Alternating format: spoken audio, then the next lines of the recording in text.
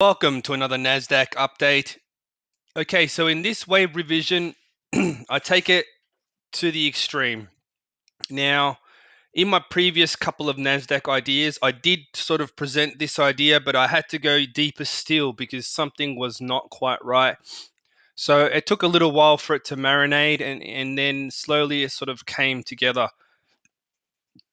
Now, if you look at the B wave, the B wave did end up here, did see a C. Now we're in D. Okay, now the D wave is smaller than the B wave in this market, whereas in in the uh, Dow, it's the opposite.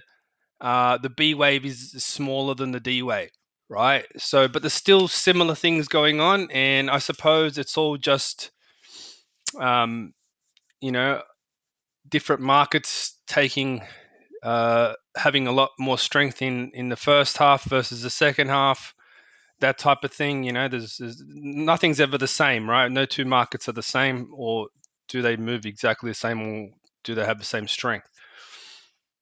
So, in saying that, the B wave here is a very complex expanded B wave. but also, I want to just point out one thing in here, and it's the D wave within the B wave right? So you can see there's A and then A, B, C, D, E, C for D, right?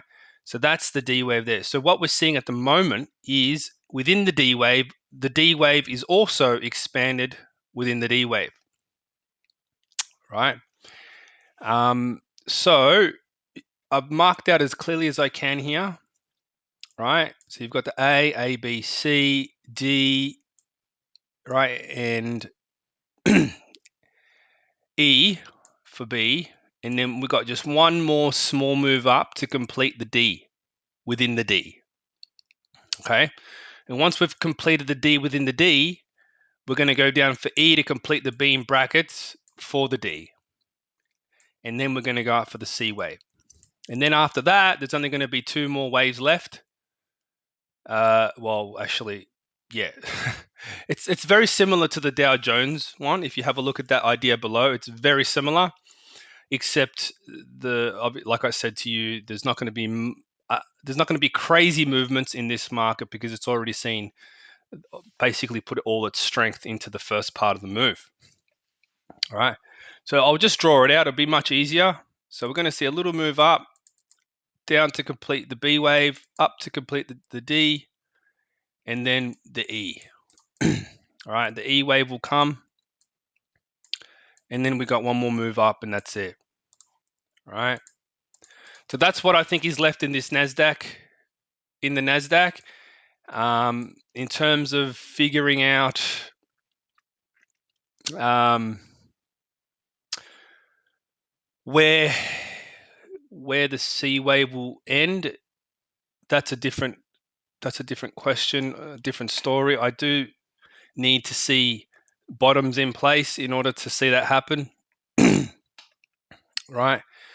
Um, like I said to you, the Dow Jones will present probably better opportunities anyway, but I just thought I'd give you a bit of a, a roadmap as to what what sh- what we should expect to finish off this move in the Nasdaq, which will be wave five completed right?